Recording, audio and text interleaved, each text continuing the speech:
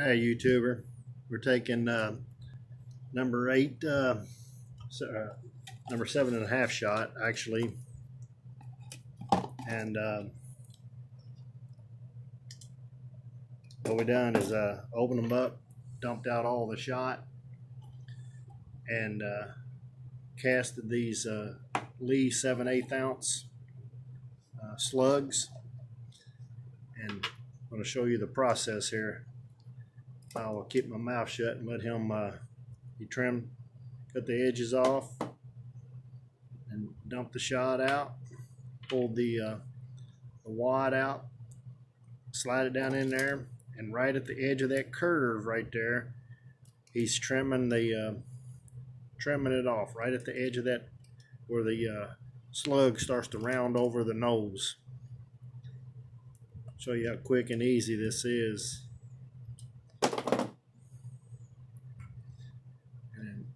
Down in there it goes, just like that till it bottoms out.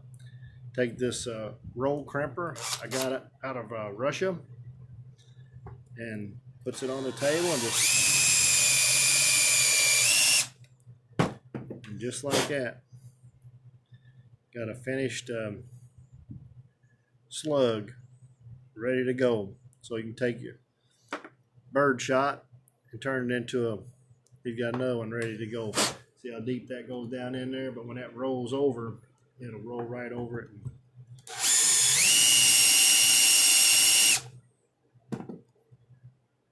There it is. Pretty. Got a pretty little roll on it.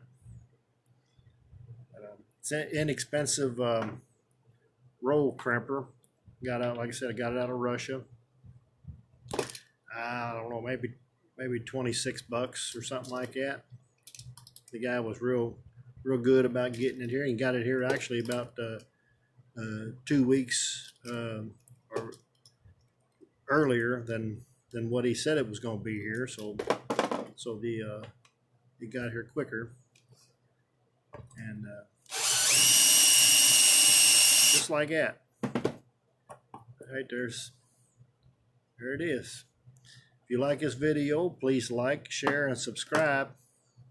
Uh, want to show you how you can take birdshot and turn it into something if you, uh, you know, you need it for bear or uh, an intruder or whatever, you know, because uh, you never know. Times might be you might be needing uh, um, slugs to go deer hunting or whatever.